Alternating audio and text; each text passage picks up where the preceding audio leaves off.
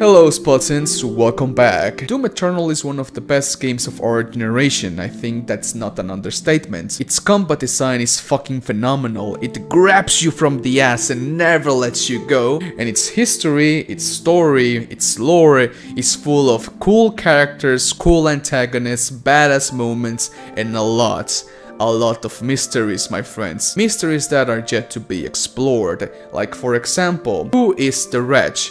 In the lore of Doom 2016, the Wretch was a traitorous demon that gave the Doomslayer his enchanted Praetor suit, which basically gave him the ability to heal and become more powerful the more demonic entities he destroyed. If that's not overpowered, then I do not know what it is. Another example, where did Davoth came from? Who is the true god in the universe of Doom? As you guys know, Davoth is not actually the true one god, the one being above all in the in the uh, uh, in the lore of Doom. He is not. Davoth came from somewhere. He's basically a fallen angel. Who is the true god in the universe of Doom? Where did Davoth came from? Maybe we will explore that in the next Doom game or somewhere along the lines. But Yes, it is quite a mystery. The thing I'm trying to say is that uh, people adore the lore of Doom Eternal.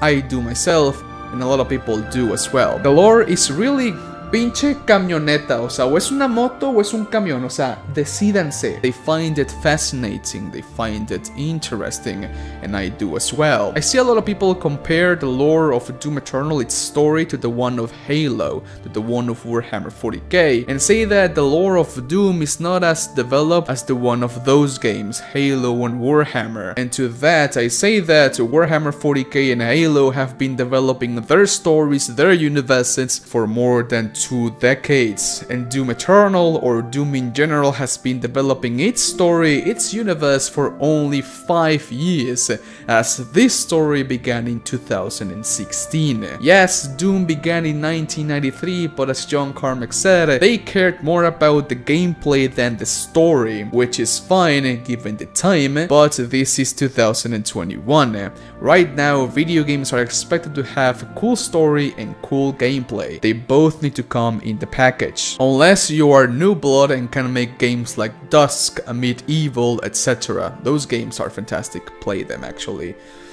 Chef's Kiss. Now it is my pleasure to announce that Doom Eternal is getting more story more lore. Not in the format you might want. We are not getting a new DLC, we are not getting more cutscenes and the like. The way we're going to get this new story of Doom Eternal is via codex entries. Actually, fun fact, the codex entries from Doom 2016 and Doom Eternal were inspired by the Bible, so basically Doom is actually the most Christian game in video game industry. And this new story has been known for a while. Not so long ago ago, I think it was 5 months in the past, uh, I did an interview with Hugo Martin, the game director of Doom Eternal, and he mentioned that, that they wanted to make an illustrated Doom Bible, which is basically a comic book of illustrations telling a new story of the game. And in that regard, that's the way Hugo Martin wants to tie some of the important events of the Doom universe, of the Doom story, to Doom 2016, to Doom Eternal. Hey man, if you like Doom, subscribe and leave a like right now. I'm going to explore that comic book and its lore quite extensively, so subscribe right now. Thank you. If I was to describe uh, the story of Doom as a manga, I would say that Doom 2016 began in chapter 50 and it ended in chapter 59, and Doom Eternal began in chapter 79 and it ended in chapter 92, with each game referencing parts of chapter 20 or chapter 10 that happened in the past. Truth be told, we haven't even explored like 5% of the whole Doom universe. Yes, we did play Doom 2016 and Doom Eternal, we explored the whole game, but the things they mentioned in the codex entries, like the Titans, like the Night Sentinels, like the Wretch, like the true god of the universe, like what happened when Doomguy arrived to Argent D'Nur, his time in Argent D'Nur, how he became the Slayer, how he killed some guy, how he got the coin to kill Deag Nilox, how he blah blah blah blah blah. I mean, they mention a lot of things in the codex entries that we haven't even saw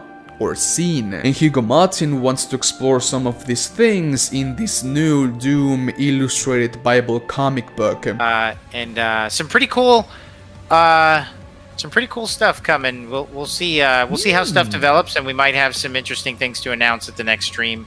We'll talk to Marty about it, and a couple Okay. things, but Okay. with related to lore and that specifically. So, uh, Hugo, when will we get a Daikatana remaster?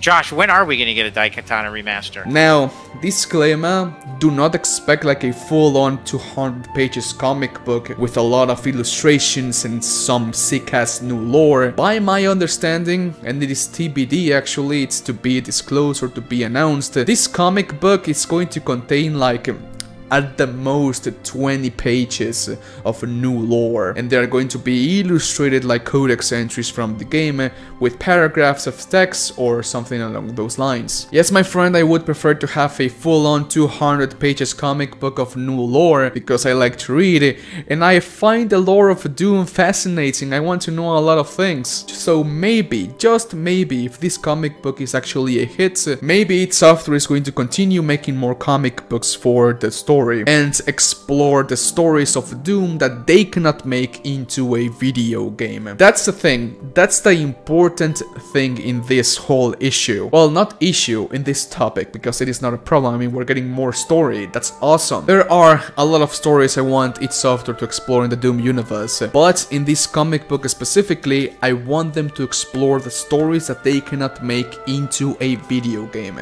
Like for example, what happened between Doom 2016 and Doom Eternal. Hugo Martin has said that they cannot make that story into a video game, so please explore that portion of the story in this comic book. Also, what happened when the Doomslayer was basically isekai'd into Argent D'Nur and went from an outlander to slave of the Sentinel Society to a Night Sentinel to full-on the Slayer. That story, that part of the story of Doom fascinates me a lot. Seeing Doom guy coming to Argent D'Nur all fucked up, full of wounds, getting into the Coliseum, fucking with everyone, then being sent to the battlefield as this uh, mad lad, this guy that wants to kill the demons, uh, coming back every single time uh, to becoming a Night Sentinel, being trained by the Sentinel Society, being trained by Commander Valen himself, uh, and then becoming the Doomslayer at the Siege of Taras Nabad. Or also the invasion of Hell on Earth changed the perspective of the Doomslayer to a simple grunt,